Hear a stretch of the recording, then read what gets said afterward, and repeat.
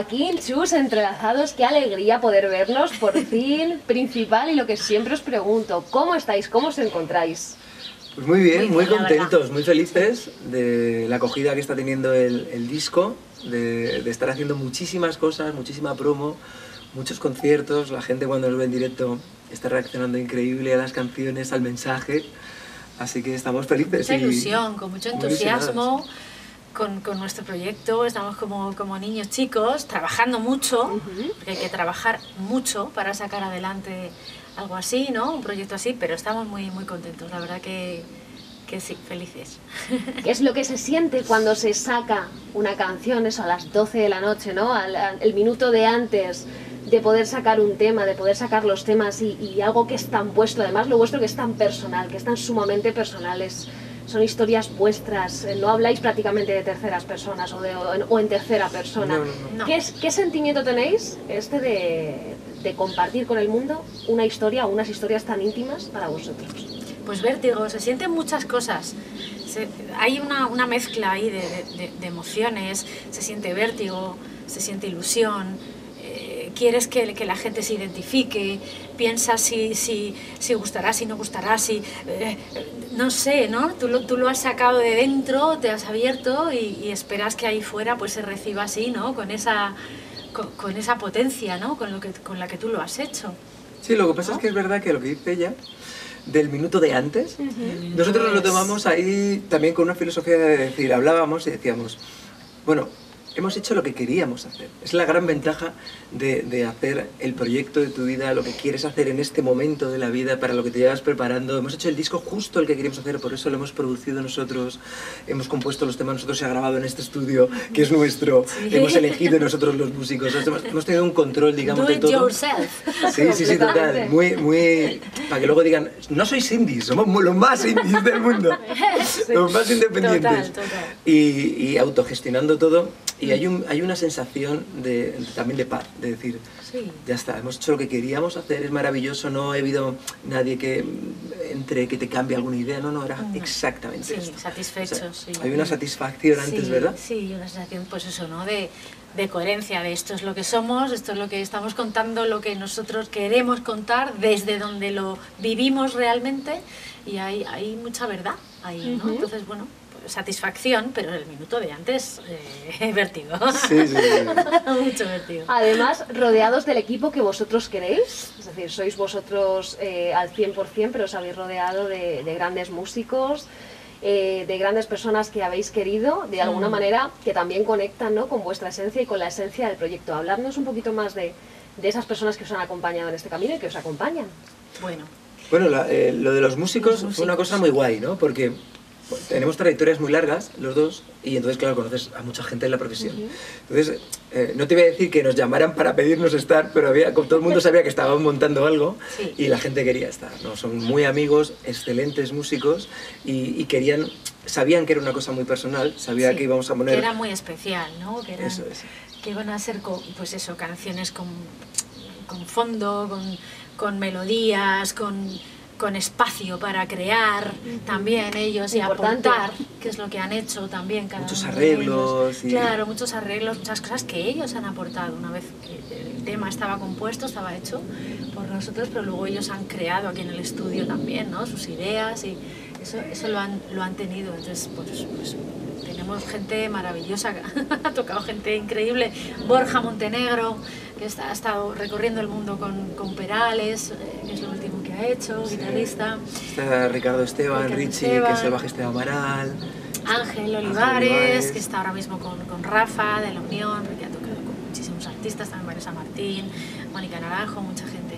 Está Eh, Isi Ruiz, que ha hecho Isi la gran Ruiz. mayoría de las guitarras, que bueno, pues está tocando ahora pues con todo el mundo, ¿no? Está en una gira ahora con Ramoncín y con Lorca y con muchísima gente. Sí. Eh, Salva López. Salva López, que ha Eh, grabado también bajo. bajos. Los, Omar, que ha grabado, que está con, con Guaraná y ha grabado un montón de, de De teclados. Hay muchísima gente. Porque, metales, gente que ha estado claro, con Tony, metales. que ha hecho Tony Molina, que ha hecho metales para todo el mundo. O sea, ese sí que es que casi es más fácil decir con quién no ha tocado. Eh, mucha gente, eh, gente que ha venido a hacer coros, Sarita. Justo, esto os quería preguntar, perdonad que os interrumpa porque eh, es que ahora mismo no recuerdo cuál era, pero he escuchado unos coros al finalizar una de las canciones, muy bonitos, y no sabía quién os había estado haciendo coros. Pues las- los coros, han- ha, ha habido varias personas, hay parte de coros que hacemos nosotros, Sí. pero luego está Sara, Sara Ranz, que es, es mi hermana y que es una artistaza, ahora mismo está en Rock You, en el elenco de, de You y es una, una, una maravilla. Maider también, que es, que es otra, otra cantante fantástica, De amiga de, musicales, de sí. musicales.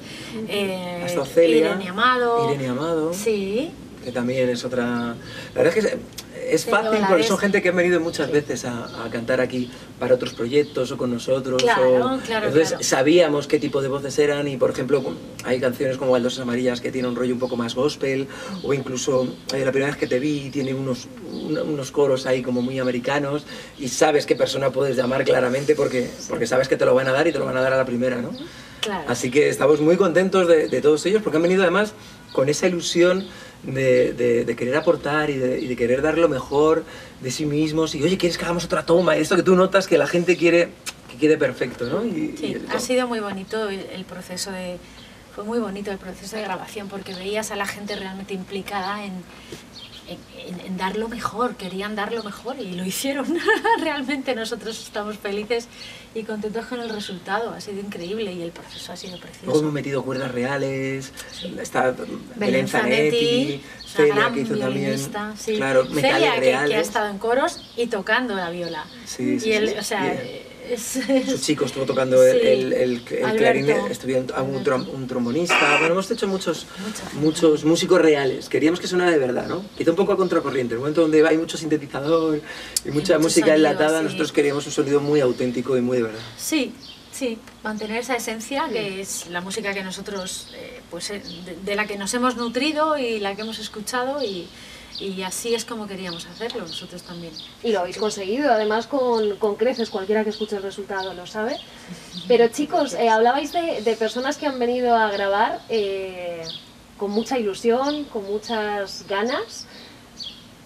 ¿Cómo se mantiene la ilusión del primer día? Después de tantos años de carrera, eh, ¿cómo se mantiene esa- esas cosquillitas ¿no? en la barriga, esa, esa necesidad de hacer música y de hacerla como el primer día?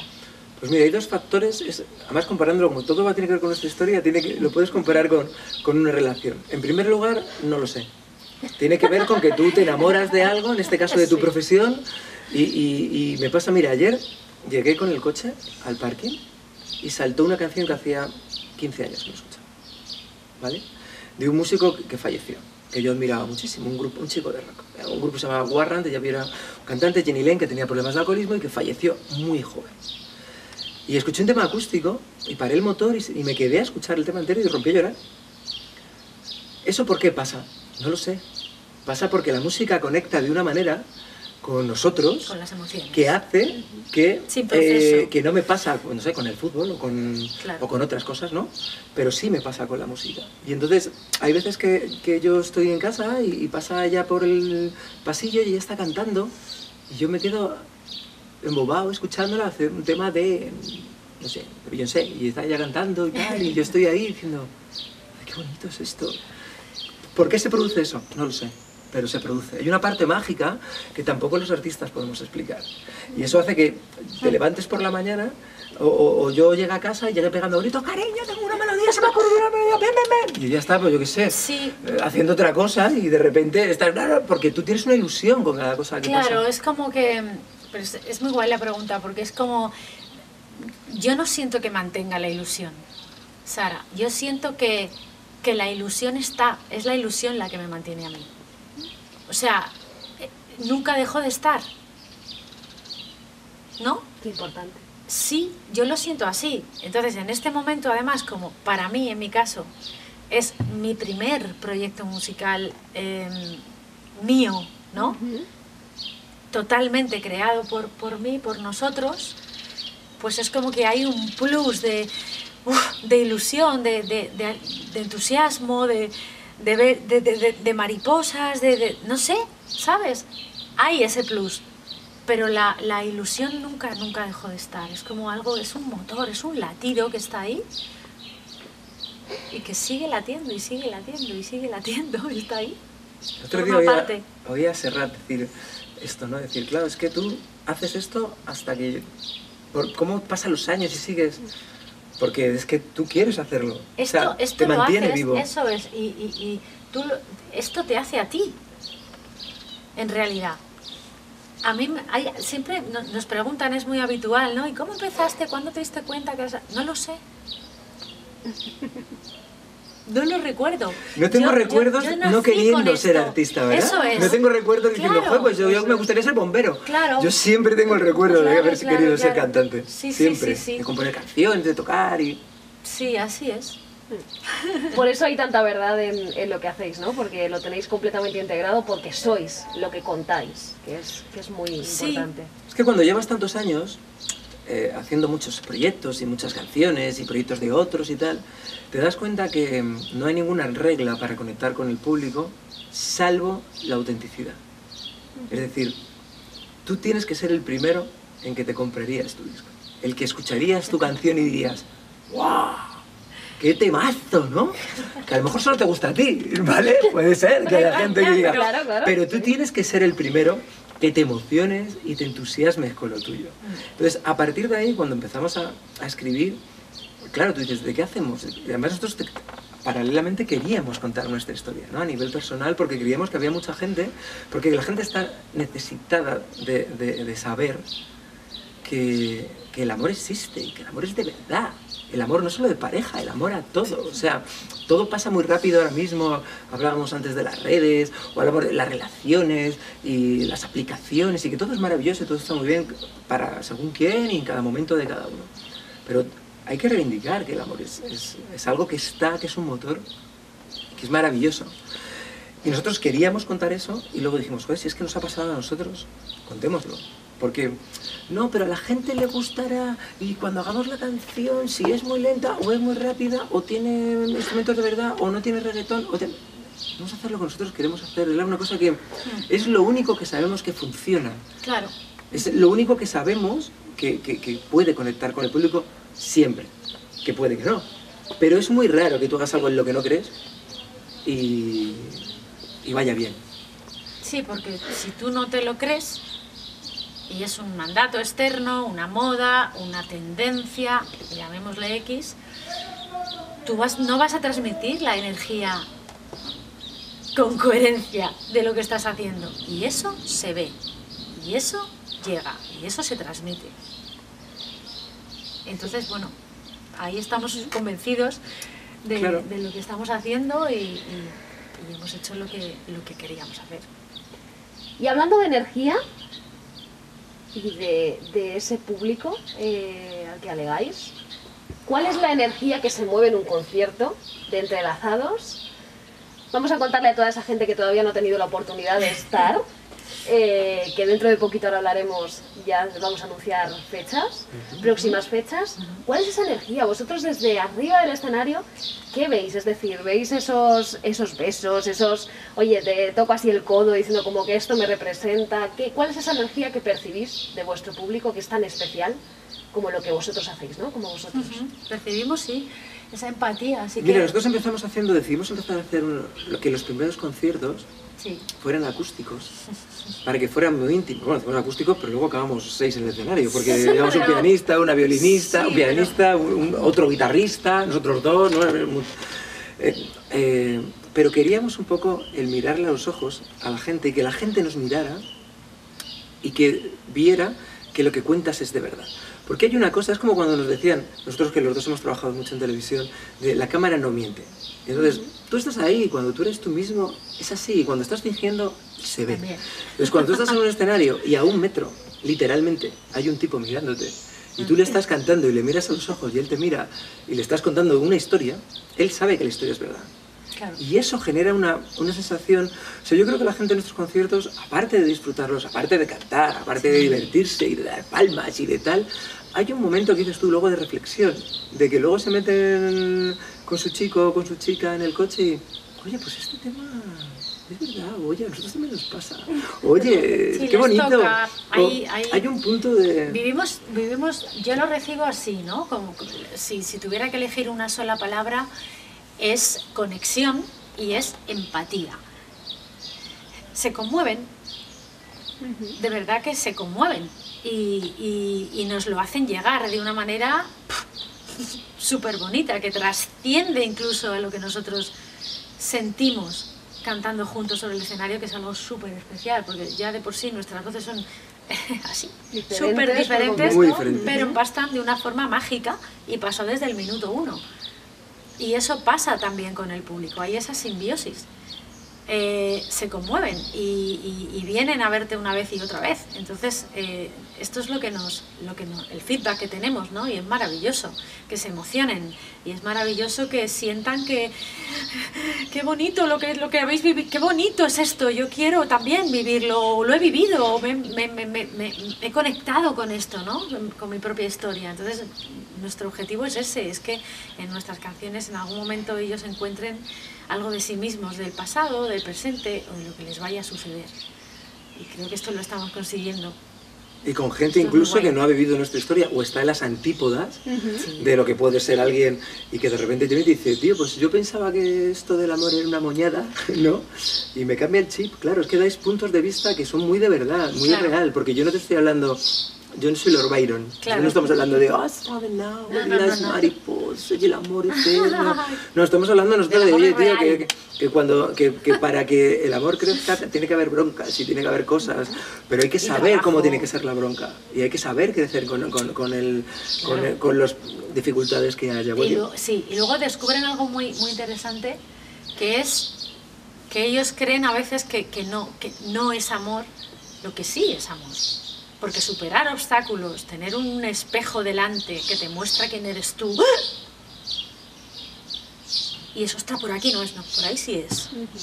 Y hay una canción, Por ahí sí spoiler, que nace de esto. ¿no? Nace Sí. de Totalmente. un momento un poco más complicado.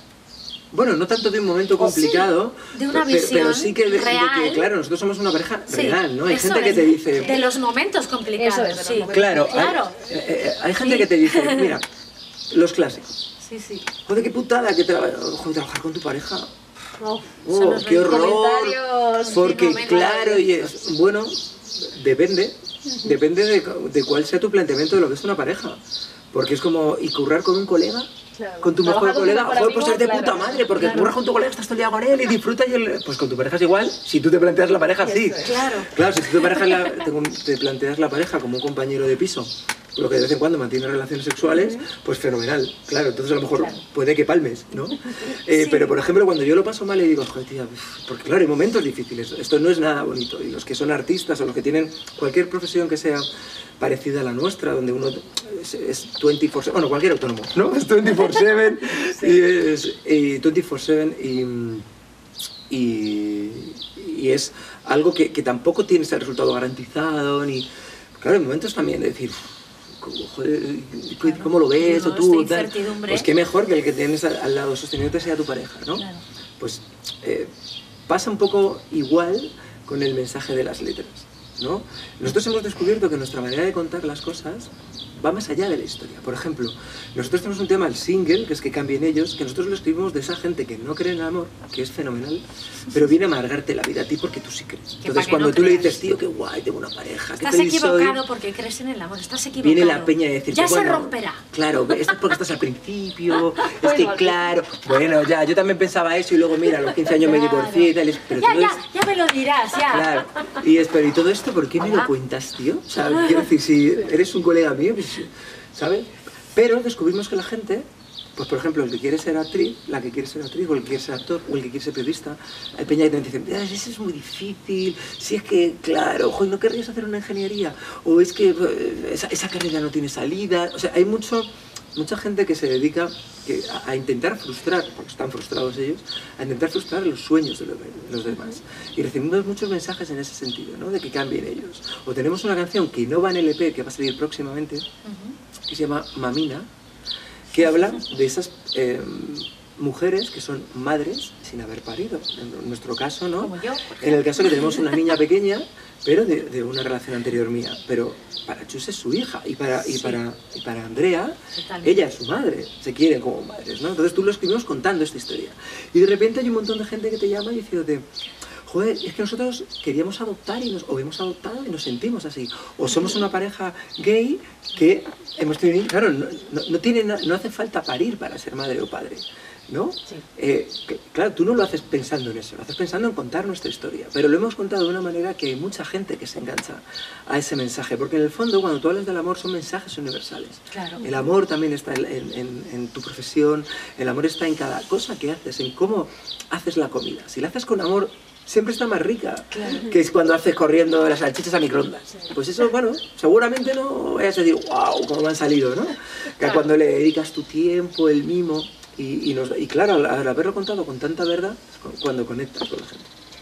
Sé que eh, son muchos y muchas eh, las historias, no por suerte, porque la suerte para mí no existe, pero que os llegan acerca de esto de lo que comentábamos, ¿no? De la gente, el cómo recibe vuestras, vuestras canciones, vuestras historias, pero hay algo que quizás alguna persona bajando del escenario, alguna historia que os haya impactado, algún momento, algo que os hayan dicho, que os haya pellizcado un poquito más el corazón. Bueno, hay muchas, ¿eh? Por ejemplo, cuando te hemos contado esto, no es nada fácil cuando, cuando, por ejemplo, tenemos una amiga que por circunstancias no puede tener hijos. Y ella tiene un conflicto porque ella quiere ser madre, pero cuando escuchó la canción ella descu- bueno, descubrió, ella que le cambió la visión, ¿no? De que no eres menos madre porque tu hijo sea de otra manera, porque haya estado en el vientre de otra persona, ¿no? Claro.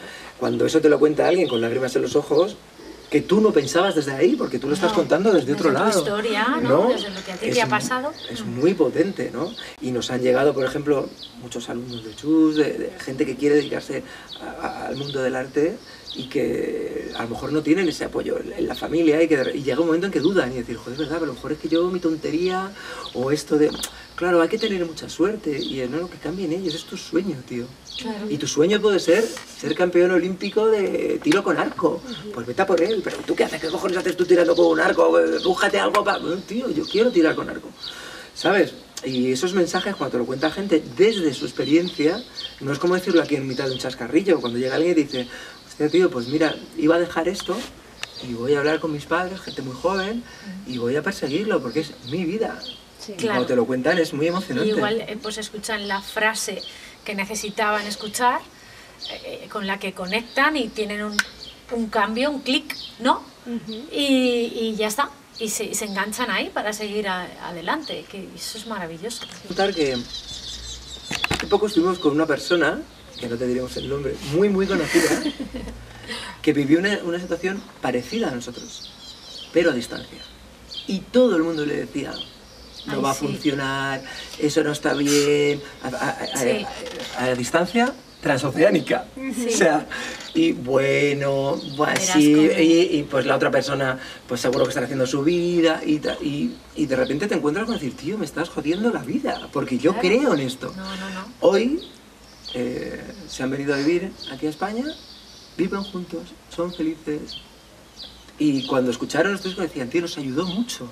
Sí, Porque descubrimos que había gente que No. sí creía en esto. Sí, Y no. que era de verdad, además, que no era lo que te ponen en una canción que... les ¿no? de- sostuvo escuchar eh, el, el mensaje de, las, de nuestras canciones. Sí. Les sostuvo ahí. Porque además esa gente luego es la que ya sea ya se extrapole a lo que quieras hacer, eh, pues si quieres ser artista, luego será la gente que diga, pues no, no, si yo lo sabía, yo sabía que ibas a ser artista, al final la Claro. hipocresía, ¿no? O igual que esta historia que comentáis de amor, luego será la persona que vaya a la boda y diga, no, no, yo siempre he sabido que esta historia, Claro. que además luego existe mucho la, la hipocresía, hipocresía. ¿no? Por parte Mucho. de... Luego la gente se Claro, sube al carro, y, ¿no? y- y Sí. la deshonestidad, ¿no? Porque es- sería mucho, mu- mucho más honesto y mejor para esa misma persona reconocer, Sí. ¿no? Las cosas y decir, ostras, estaba equivocado, pero no, yo ya lo sabía, yo ya sigo en mis 13 ahí, Es beca. así. ¿Sabes? Sí, sí. Eh. Chicos, me gustaría poco de algo con vosotros eh, que me parece muy importante y que podéis aportar mucho, como ya lo hacéis, eh, a todo el mundo y a gente sobre todo que empieza quizás o que está un poquito más eh, perdida ahora mismo, que después de todo lo que hemos pasado, estos años y demás, aunque ahora resurge todo, pero hay gente, en la que me incluyo, que nos hemos quedado un poco en el camino, ¿no? Y pensando. Entonces vosotros decíais antes que os autogestionáis. Sí. Lleváis vuestro proyecto y las riendas del proyecto y lo hacéis posible. ¿Cuánto tiempo ocupa de vuestro día, de vuestra semana esto? ¿Cuánto de complicado es? Contadnos un poco cómo habéis llevado desde la parte del back office, por así decirlo, no la del escenario, sino la de las llamadas, la de los mails, la de todo eso. Es muy sencillo. Al final esto es, si tú montaras un restaurante, pregúntale a alguien que monta un restaurante cuánto tiempo le dedica. Y entonces tiene que estar, desde estar buscando todos los proveedores de Coca-Cola, porque el que te baje dos céntimos hace que a final de mes que vas a comprar 500 Coca-Colas, o 1000, o yo no sé lo que se compran, una barbaridad, ¿no? Muchísimas. es Claro, dinero que te vale para pagar el recibo de no sé qué. O, oye, mira, es que la decoración, o voy a poner una tapa nueva, o voy, o lo que sea, cuál es tu especialidad, es todo el tiempo. Es full time. Es Nosotros estamos todo el tiempo. Porque es tu proyecto. Si te lo planteas así. ¿Cuál es la dificultad que se encuentra la gente joven? Que desgraciadamente los músicos tenemos una manía que es comer todos los días. Entonces, claro, Una muy mala Tú dices, Sí. yo curro ocho horas diarias, que no son ocho horas, porque son nueve, y luego es una hora para ir del curro, otra para volver, ¿cuánto tiempo me queda? Pues claro, tus posibilidades de trabajo, de trabajar en tu proyecto, disminuyen, ¿vale? Pero lo primero es que tienes que creer, a pies juntillas, a ti. Luego puedes escuchar lo que te digan, porque la gente dice, no, es que los sonidos de ahora, los sonidos de ahora hubo un momento en que tampoco sonaban. O sea, yo recuerdo perfectamente, aunque sea remontarse un poco, que con Iguana Tango acababan de salir toda la gente de OT y decían, no queremos grupos. Porque hubo un momento en que no se querían grupos. Pero hubo un día en que eso hizo ¡pum! Y aparecimos. Nosotros, el canto del loco, la oreja de banco, que efecto mariposa, y aparecimos 2.000 grupos. Claro, alguien estuvo en el cambio. Cuando eh, a nosotros nos decían, no, no, no, estos solistas. Nosotros decimos, ya, es que yo no quiero ser un solista. Yo quiero tocar en una banda de rock. Y hubo un momento en que eso hizo ¡pop! Pues ahora es, todos son ritmos latinos. y tal. Llegará un día en que dejarán de sonar, como ha dejado de sonar todo. Y a lo mejor volvemos Son al rock ciclos. o al pop o a las polcas. Entonces, si tú crees en la polca, tío, lucha por la polca. Porque si tú crees, lo que no hagas es qué se lleva, qué puede gustar a la gente. No, no, no, no, es que vas mal. No te seas infiel. Claro, tú tienes que hacer lo que a ti te guste. entonces- Luego tienes que trabajar a todas horas. Luego hay una cosa que siempre dice Chusi es, tienes que formarte. Claro. Porque tú, nosotros podemos gestionarnos porque han, han pasado muchos años tocando la guitarra, tocando el piano, aprendiendo a manejar Pro Tools, sabiendo cómo hay que colocar un micro, una batería, eh, cantando, Cantando, bailando, eh, qué ropa te puedes poner para las fotos. claro. eh, claro, tú cuando tienes todo eso dices, no necesito un tío que me grabe, un técnico de sonido, no invirtiendo, porque claro, mientras que mucha gente se compra una moto, pues yo me compro un micro. O mientras que mucha gente eh, está tomando una copa, esta señorita estaba dando clases de baile, recibiendo, o de canto, o de interpretación, mientras que hay gente que tal, yo me iba a un estudio a ver cómo grababan no sé quién y me pasaba horas viendo y decir, ¡hala qué cabrón, qué truco ha usado para hacer no sé qué! Claro, todo depende de muchas cosas, pero es que para nosotros era lo más importante. Y luego en cuanto a conseguir cosas, todo se basa en, eh, es que no sé, es que yo, o es que no se me da bien, o mira, llamar a un medio de comunicación es poner Google, Onda Cero, mm, no sé qué. Hola, ¿puedo hablar con alguien de producción? Sí, hola, mira, soy fulanito, ¿me dejas un email para mandarte la información? Y ya, Ya, y eso lo hacíamos en el año 94 mandando una cassette y lo Y hacemos ahora. ahora. Que en el año 90, que ahora digo, hola, soy el cantante de Buena Tango de la Ruleta, tengo un proyecto nuevo con mi mujer, se llama Entrelazados, ella es cantante, hizo aquí, esto, todo. Y es más fácil de que te digan, ah, y antes era, Joaquín, ¿qué? ¿Iguana qué? ¿Pero qué hacéis tangos? ¿No? Que, que a la cosa ha cambiado. Claro, pero llevo 22 años.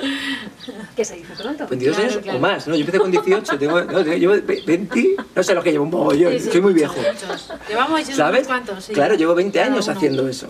Entonces, pero hubo un tiempo en que no teníamos el contacto, que no sabíamos quién era, quién era el AR de Warner o quién era el locutor de los 40. Sí, que no y te también olvides nunca, hacíamos. además es muy súper importante no olvidarte nunca de por qué quieres hacer esto.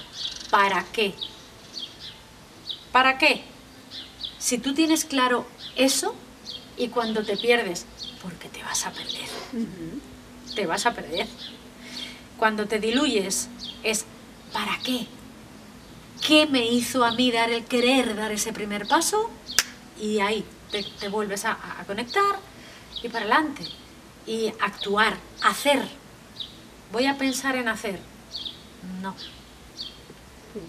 Voy a hacer lo que sea, un pequeño paso, lo que sea, muy pequeño, por pequeño que te parezca a ti, estás poniendo en marcha la maquinaria, estás haciendo, actuando, acción. Ya está, Esto es, este es el secreto.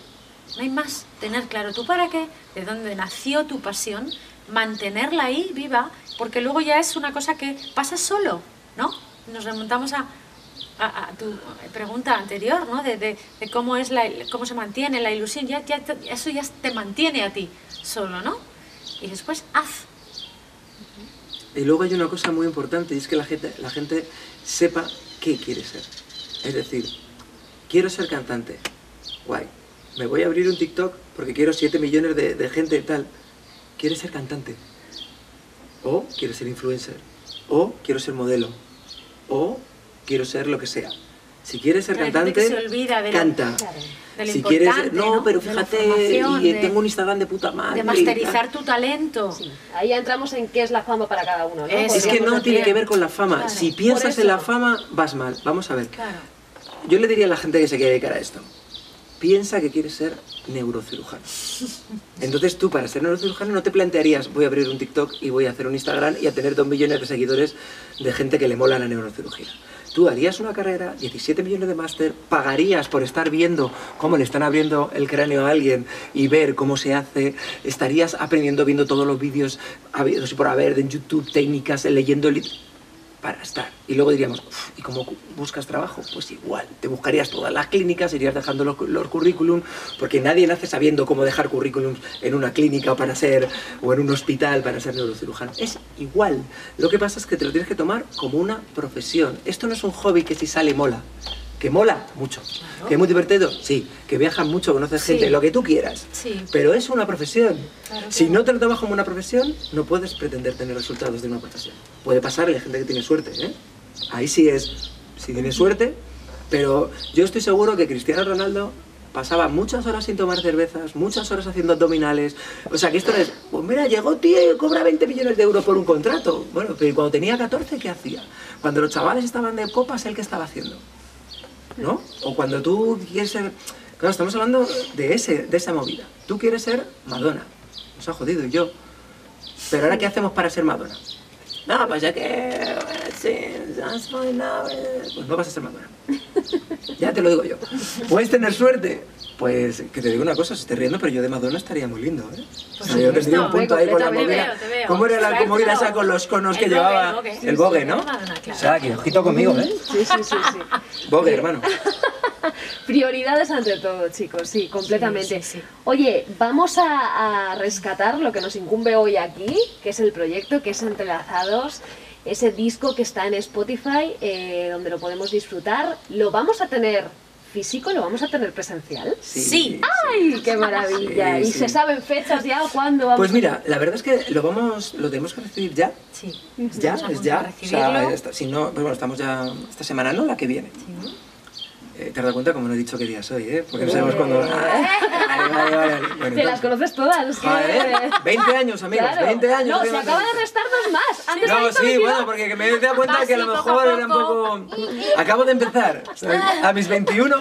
Bueno, pues... promesa. Eh, lo que pasa es que creemos que ahora llega el verano y creemos que vamos a, es que vamos a armar una gira muy potente, que hemos arrancado ahora un poquito, pero sobre todo en septiembre va a estar muy potente, que estamos armando las fechas y vamos a sacarlo ahí, en, físico, porque al principio decíamos, bueno, ¿ves lo que hablábamos? ¿no? Los tiempos ahora y tal, es que nosotros compramos discos. Claro. Seguimos comprando CDs. Es que la música va en un soporte.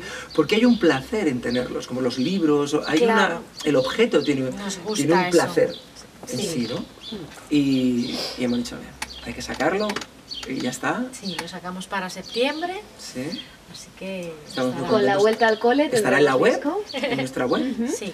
en trazados eh, oficial. punto com o punto es, trazados oficial. Lo pones en Google y el que te ponga, si es punto com o punto com, si es punto es. Punto com. Yo creo que es punto com, ¿no? punto com, sí. Bueno, para el disco vamos a tener que esperar un poquito en físico, pero para lo que no vamos a esperar es para los conciertos, Sí. donde tiene que venir toda esa gente, todo ese público a descubriros si no lo ha hecho ya. ¿Y cuáles son esas próximas fechas que nos podáis contar? Aunque todo está en, en redes sociales también. Sí, y en la Sí, web. Lo pueden ver en la web, en redes sociales, en entrelazados, pero contadnos dónde vais a estar próximamente. Pues mira, el primero, 21, 21 de mayo, de mayo en Mallorca, Valladolid, en la sala secretos. Sala Secretos. 1 de junio tenemos Madrid, Sala Jazzville. 16 de junio, El Sala Volander, en Valencia. Un ¿Qué concierto muy más? especial. Y luego tenemos un par de ellos antes de verano, pero está- nos están llamando, es que lo de las salas es una Sí, cosa. sí. Tenemos un par de ellos y luego arrancamos en septiembre otra vez. Que solamente porque son muy insistentes, a decir pesados, no, pobrecitos, es que quieren vernos. En Barcelona estaremos el día 2 de octubre en la sala FIF. Es que tenemos muchos fans en Barcelona. Sí, Y siempre decían, jo, ¿cuándo venís? que- ¿Cuándo venís? ¿Cuándo y tal. venís? ¿Cuándo venís? Y entonces Sí, hemos sí, dicho, bueno, vamos a superguay. decirlo ya, aunque queda mucho. 2 de octubre. Más en la gente que nos FIF. ha visto en, también en otros proyectos, pues, Claro. por ejemplo, en 33 el musical, que venía mucha gente de todos los lugares de España y venía muchísima gente de Barcelona y, y nos escriben, nos me dicen, ¿cuándo venís? ¿Cuándo venís? Así que ya por fin allí, allí estaremos. Pero vamos a estar en Málaga, vamos a estar en Elche, en Murcia. Sí. Pero vamos todo en las redes, como tú decías, y en la web. Estamos ahí a tope. ahí. Estamos, mira, se nos cambia la cara. Tenemos unas ganas de ir a tocar. Ganas de Pero directo, somos de ¿no? directo. Sí, sí, Sí, sí. sí, sí. Sí, además que no, no se lo pueden perder. Chicos, un placer. Muchísimas, muchísimas gracias. Gracias Estaremos a ahí vosotras, atentos, como siempre. siempre, atentas a vuestros pasos y un placer. Gracias. ¡Mua!